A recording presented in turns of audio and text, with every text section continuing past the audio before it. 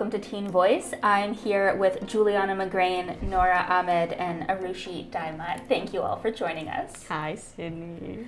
so basically what's going to happen is we're going to chat about a couple of topics. These are things that we sort of agreed on together, so hopefully there's sort of stuff that y'all are interested in, in digging into a little bit. The first thing that we were all like, yeah, I think we could, we would want to talk about that is AI. And literally right before we started rolling, Juliana, you were saying that you've been chatting, you've been working with Yeah. ChatGPT a little bit. So what's been going on for you? Okay, so I don't know. I my dad's a writer. I am a I want to be a writer, and just the concept of me like growing up with something that could just that I could just type into and I could get like anything I wanted, just out of it, just like farted out of it. I can I say that whatever. Um, it has just been really fascinating to me as a creative. So I decided that I wanted to play around with it. So I so whenever I get bored, I just put in the wackiest, most strange um prompts I can put in. Like one of them was like, give me an give me a Impractical Jokers X iCarly crossover episode in script form, and it just gave me that, and I just think it's really interesting. I don't know that it can just like do stuff like that. Uh, I don't know. What about you, Nora? Um, I don't have like the strongest opinions on AI just because I haven't really like uh, dug myself or like delved into that type of world, so I don't want to like speak about something I don't know that much about. But I do think that, I guess to anything there are positive and negatives. So I think that they're probably like I get the point of wanting to have fun with it, but I do think that there can definitely be some negatives to it. You know, it's like yes, there is. You can like create anything, but is you know you don't know what that could. There could definitely be some Yeah. negatives to that. But they have very strict content moderation. Like, it's like weirdly strict, and I understand why. Like, I was like, "Hey, can you can you rewrite Party Rock Anthem, but about the stabbing of Julius Caesar?" I mean, that's that's like a pretty. I would like to read that. Yeah, me too. And it and instead of like actually giving me a response, it was just like, "We don't want to make fun of, uh, we don't want to make light of tragic events, um, as in the stabbing of Julius Caesar, which happened like millennia ago." Yeah. And I was just like, it just really brings into question um, AI's ethics because like it won't write fan fiction for me, like like any fan fiction at all and stuff. Like it's very finicky to work with. As a person that has like never really used AI, I'm I I kind of agree with Nora in that there's like good and there's also bad. And the bad for me is like is it kind of stifling creativity cuz it can be like instead of writing your own compelling story, you're just relying on something that will just spit something out at you. But also, I do see that it's like it seems really fun too. I like Yeah. the, you showed us like a, an example before, and it was really funny. Yeah, I mean, I'll say, speaking of creativity and of writing, I also like to write, and I I had this sort of like beginning of an idea for a story that I might want to write. Um, it was about it was about a um, a demon bounty hunter who was trying to pay rent. Um, but I didn't really know what I wanted to do with it. So I put it into Chat GPT and I was like, what should happen to this demon bounty hunter? And it came out with like a perfectly reasonable plot synopsis, but it was also kind of a boring plot synopsis. I was like, yeah, like that makes sense. And so I wonder, like, are artists, are writers going to start coming up with plots on ChatGPT? Is that, you know, 10 years from now, are we going to have all of the ideas or a lot of the ideas generated by a robot, basically? Like, I um, I think I mentioned this earlier, either off camera or on camera, where I tried to like get two very different franchises, Practical Jokers and iCarly, to make a crossover episode, and like I put it into ChatGPT, and it just gave me like a very boring, safe episode where nothing happens. Nothing like happens at all. There's no character. There's no real character interactions. There's no stakes. It's a very. It was very boring to read, other than the sh- sheer absurdity of these two. We do love absurdity. Yeah, the sheer absurdity of these two combining of these two franchises combining. There's nothing that would really make me as a creative want to like produce this script that a computer came up with.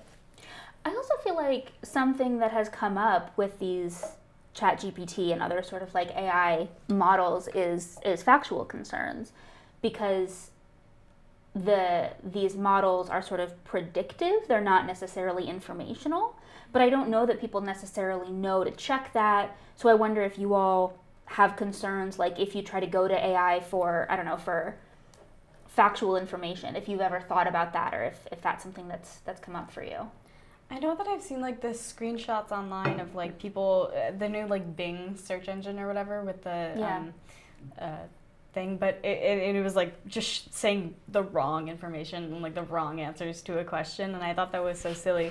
So really, I'm just, I think this whole like AI buzz that's going on like nowadays, I feel like at some point it has to fizzle out because I don't, I just don't think the whole idea of what's going on is very sustainable because it's like as you said the scripts might be like uh, the, the AI is creating might be kind of interesting but it also like as as a concept they might be interesting but like as you said it was just boring. It was just boring and not exciting so going on I don't think we're gonna really be using it that often. Hopefully, fingers Yeah, crossed. I, I don't know. feel like a lot of Web 3.0 things just fizzle out into fads, like cryptocurrencies, NFTs, and now AI, like metaverse AI. Yeah. Like all of those have been fads that companies are like way too quick to jump on. And if there's one thing we've learned from the dot com bubble is that like internet things don't last forever. Like the internet is a very weird and very varied place and you're not like one trend isn't just going to stay forever because especially when companies um, capitalize on a trend that's when it like starts to lose its relevance. Like remember the silence brand thing on twitter? No tell us about it. I don't know about that. Oh okay so it's like this um you know how brands on twitter are trying to be like pick your bread bae or whatever like that's Hip it in with the kids. yeah sure like, okay trying to be relatable like- brands or whatever or I don't know if you were on Tumblr, but like the Denny's Tumblr account. that was fantastic yeah. actually So a lot of brands saw that and they were like, oh, they, they're getting in with the kids, so they did that, but with on Twitter okay and stuff, And, like, the Wendy's. yeah, the like Wendy's Twitter. or whatever. And then people just like started getting sick of it, so they would like get this one image of a crab with laser eyes and were just like silence brand. Okay, okay, I see what you mean. Yeah, so it gets a little bit like once the brands get a hold of it, it kind of loses its yeah, its natural energy. Yeah. Um, Sorry, we went But- off your we went off, we went off your actual topic of like the the um, no, it's good. Information It's, natu- stuff. it's natural discussion. Yeah. this is this is what a conversation is. Yeah. Um, but Nora, I do want to talk to you about Oh, um, Pope in a jacket. um, because why me? did you see this image? Probably. So Oh, yes. hope big yeah, white I- jacket. Yeah, I saw it like two days ago. Yes. Did you think that it was real? No. I thought it was real. I was Oh. I was completely fooled. So if you're if you're not aware, there was an image that went viral, mostly on Twitter, but like kind of everywhere this week. I thought on Instagram. Yeah. it was it was the Pope in like an incredible like puffy white jacket, Really good. I thought like, it was like designer. so stylish, Like imagine like hype beast, like Yeah. with like the big cross, and like, like, the very. fur. For yeah. like two seconds, I thought it was real, but then I like clicked on it and I went to the comments and it was like, "This is a deepfake." Well, I mean, AI. I mean, ooh. But it's it was convincing. funny. it was convincing. I don't know. Do you, Nora? Do you, what do you do? You have thoughts or concerns about this idea that you could see an image on the internet, but it never happened? Yeah, I think it's kind of. I don't think it's the best thing in the world, obviously, because like people do fall for it, and one day like it's it's gonna like like it's gonna go too far to the point where somebody like something I feel like really bad is gonna or like some image that like is made by AI and should be taken seriously, and like people will because obviously it's like something serious, but it's since it's AI, it's not real, and I feel like it's one of those things where we won't really know the like know the negatives until like we have to face the consequences Yeah. of And But- didn't that partially happen with like the the Trump Yeah. arrest Yeah. images? But okay, I would- while you guys were talking, this got me thinking. Like, who is at fault? Like, if if someone is to type in like blah blah blah or like something controversial into an AI and then they make it who's at fault here? Is it the creator or is it the AI?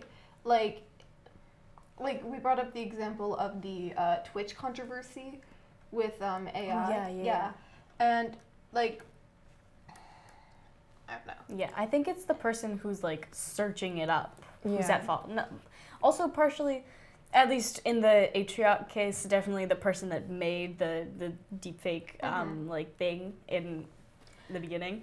Um, but also, like the person searching it up is is also at fault. So, just to explain a little Yeah. bit about what we're talking about, this was an instance where um, a Twitch, Twitch streamer was sort of AI image generated into a pretty risky situation that she herself was never in. Yeah, And that's something that can happen now. yeah. So, you're saying in your mind there's some liability or some responsibility for people who are looking at those images, Yeah, not only well, the people who no, are it's making not that. them. It's the people like, is it the people who are making them or is it the AI? Because you know how um like I saw my art teacher was talking about this the other day, how um a like some guy submitted an AI work to the art con to an art contest we were thinking about doing, and then he won, and um the money went to him, but I like someone in my class argued that it should have gone to the AI because they were the one who created that work. They were the one who created that piece.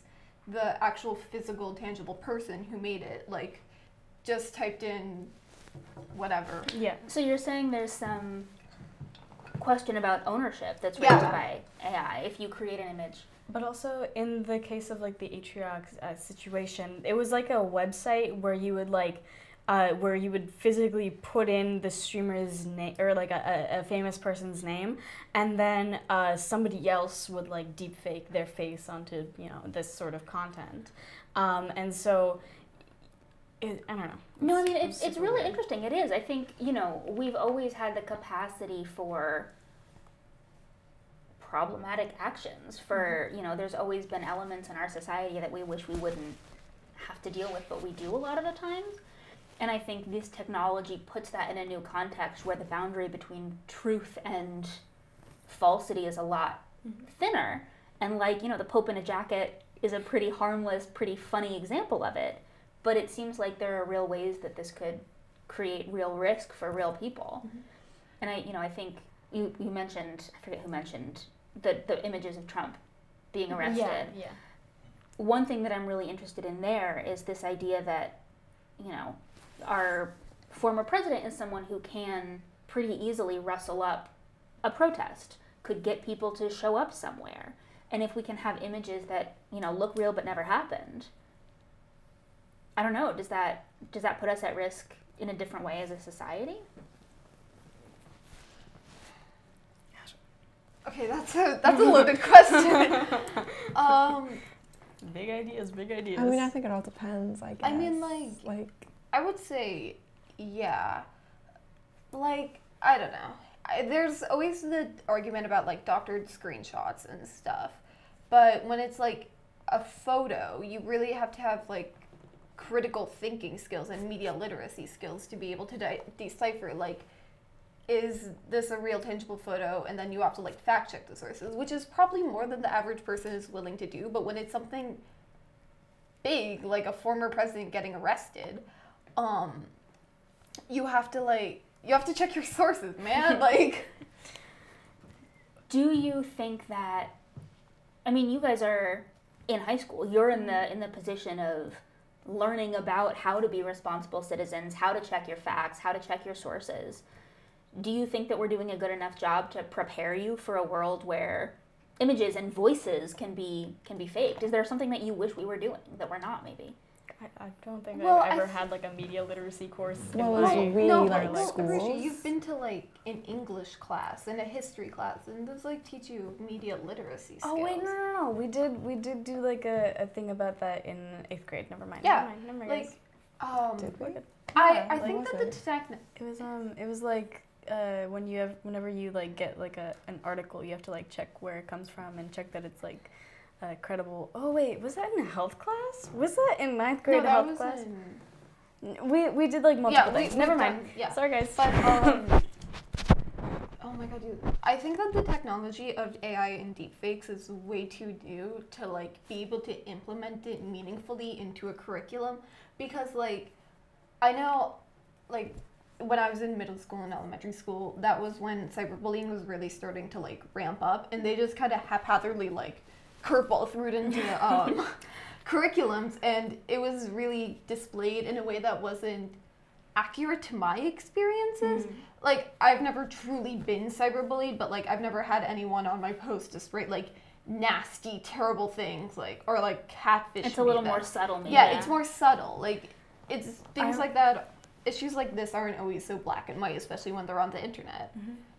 I wonder if you know it's it's occurred to me, and I don't know that much about the technology to know if this is possible or not. But like, what if, what if there was a way to put like a watermark on any AI generated image so that it's like you can make whatever you want. You can go on these image generators and like, you know, create a picture of a mm-hmm. Twitch streamer doing something she never did, but it it shows that this is legally there has to be some sort of like Yeah. I don't know if that's realistic, but I mean, it might be. I can see a world where that happens, but I feel like a lot of the appeal of these like fake news articles or fake um, photos and videos is that they're giving the illusion that something is true for either like profit or radicalization and stuff. And so they wouldn't have the watermark or they'd figure out some way to work around the watermark so that the image can be like more believable. But I Yeah. do feel like in these like newer times, like legislators should take these new concepts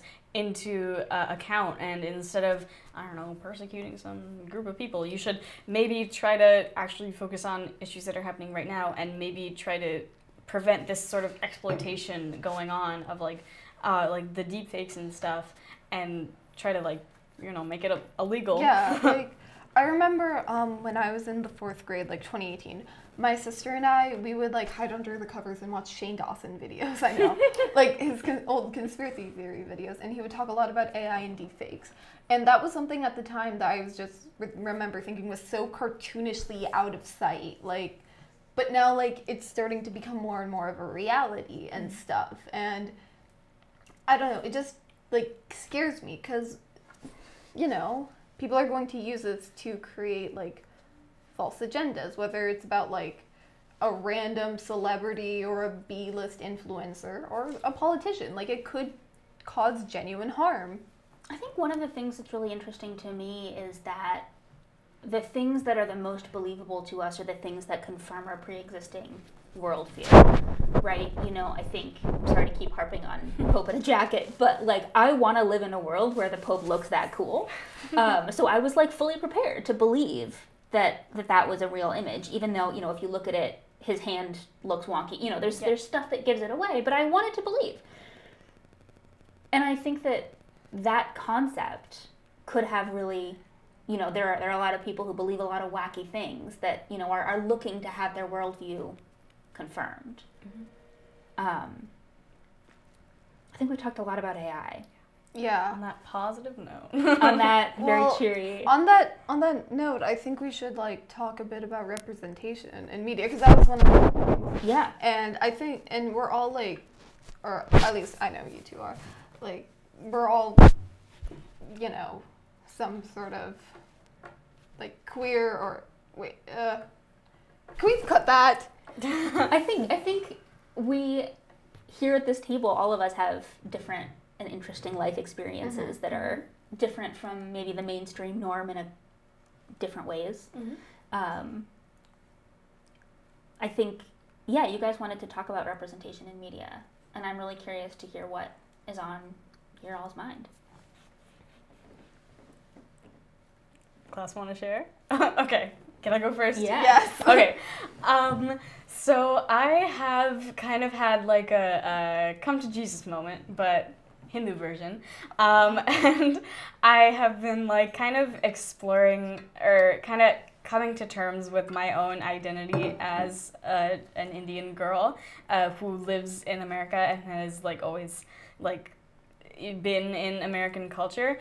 And uh, up till this point, I've kind of uh, just been like skirting through life, kind of trying to avoid like being Indian as much as possible, and I think I kind of know why. And it's because the only Indian representation that I have is either the most like stereotypical, like geeky Indian kid that loves like learning and is constantly picked on. I'm only talking about Baljeet from Phineas and Ferb here. I'm And Robbie. fully not gonna and and Ravi from the Jessie. Um, either that or like the full opposite where it's like an indian person who hates being indian and they want to reject all like hmm. all traces of that and they they're gonna fall in love with the white man and i'm only talking about Mindy Kaling right now. I, I, that's that's fully it. And I, I i've kind of been in between these two things and now i've kind of realized that like or I've I've kind of been more on this side where it's like, okay, I I'm gonna try to be not Indian as possible. I'm gonna pretend that I'm not smart. I'm gonna pretend that uh, I don't like learning this language or I don't like being in touch with my culture.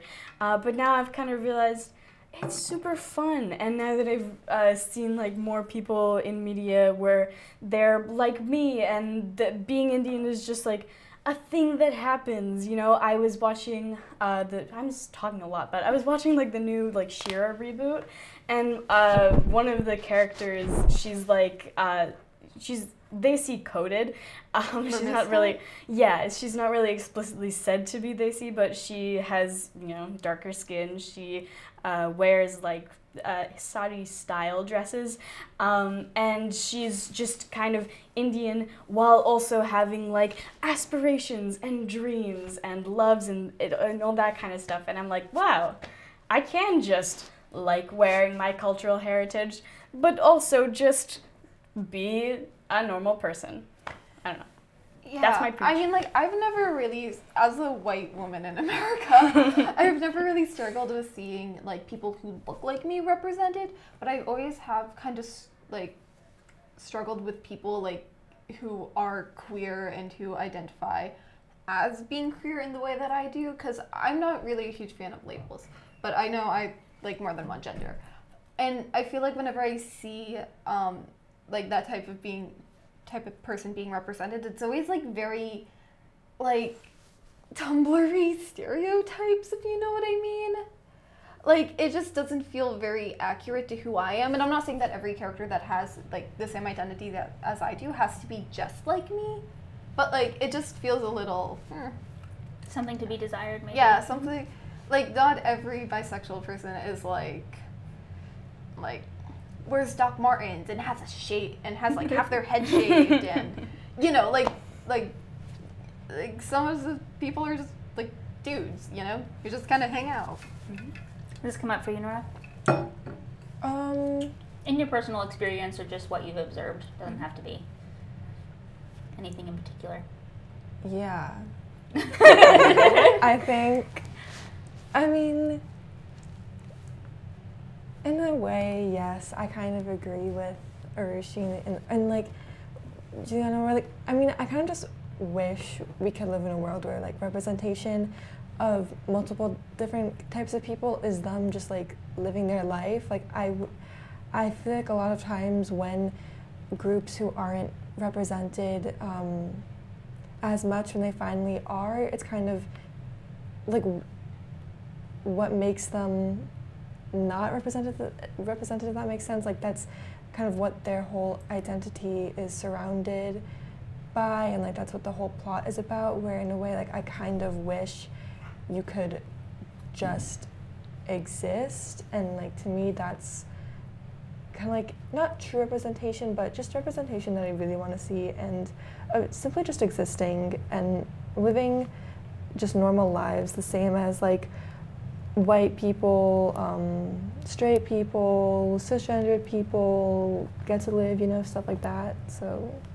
Yeah, I really like that. This idea that maybe when we've had media for so long that's been pretty unrepresentative of what society really looks like, when you get one thing, that becomes the only image that's out there. But as we develop more, as we have the opportunity, as different groups of people have the opportunity to tell their own stories, more, we can have more different kinds of stories and people can just exist more. Is that kind of what you're saying? Yeah. Yeah. And like, um, I don't like. I just think that this might be an interesting talking point. How like, so you know how there's a new remake of the Little Mermaid with Halle Berry. Uh, that's her name, right? Yeah. Uh, okay. Wait, wasn't is it Halle Halle Berry? Berry? Halle Berry? Is it- No, Not sure. because Halle Berry's someone else, right? It's not. Anyway, we know what you mean. Whatever. Yeah. Um, one of the girls from Chloe, Chloe and ha- Hallie. I. um, but I know that she's being Ariel, and I know that um, people further to the right are all up in arms saying that like it's ruining the story and that like uh, blah blah blah. It's like taking away, and that they're gonna that Disney's going woke, guys. It's going woke, and it's just like people um, people who look different than me and or, you know whatever Yeah. should be able to exist and be in stories without like their race or ethnicity eth- ethnicity or gender or sexuality or whatever marginalization shouldn't be tokenized it should just be like a thing that exists which is something that we're all saying right now and also so the Rishi, I- control room has us say that it's it's Haley Bailey. Haley Bailey. Bailey.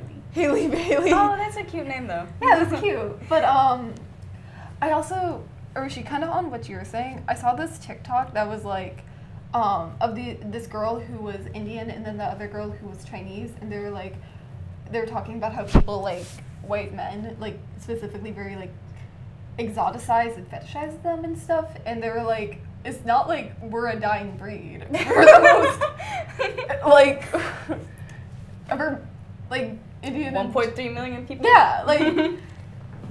So we've Or covered a lot of ground billion here. people with a B. Sorry. Yes, uh, we covered a lot of ground. We've talked about politics. We've talked about AI. We've talked about representation. I think that we've covered plenty of ground. Yes. Would you all be okay if we start to wrap up?